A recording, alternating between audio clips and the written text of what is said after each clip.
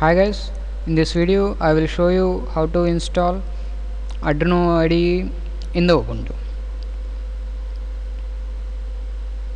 First go to the Google.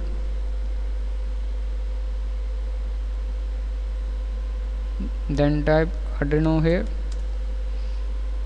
Open the Arduino home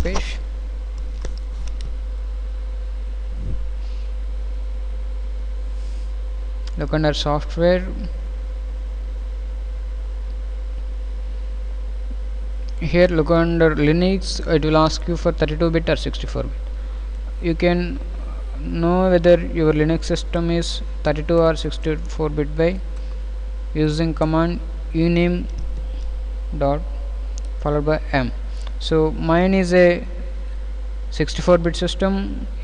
If it returns something like i68 or i360 386 then there is a 32 bit system.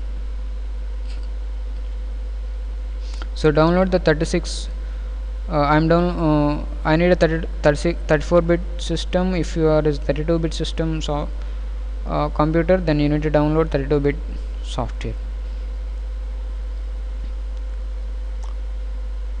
Okay once downloaded you will be getting the tar file. So just extract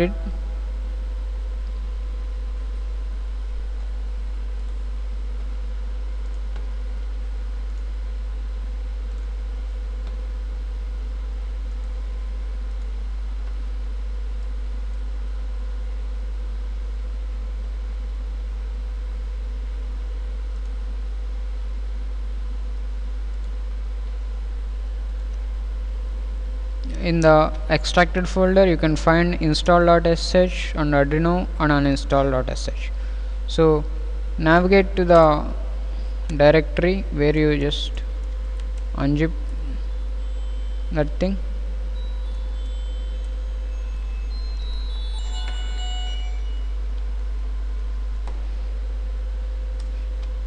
On for install sh change the permissions so make it executable.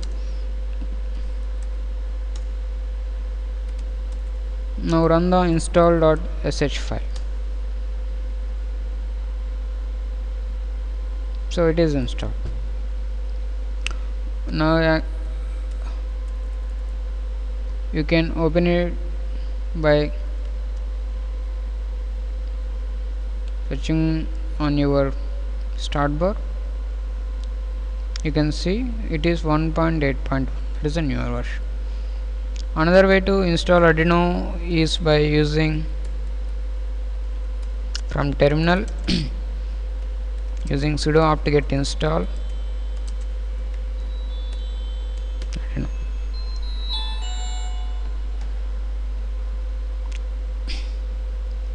but this way of install from terminal won't give you the updated version of the Arduino so it is recommended to install the software by downloading it from the website.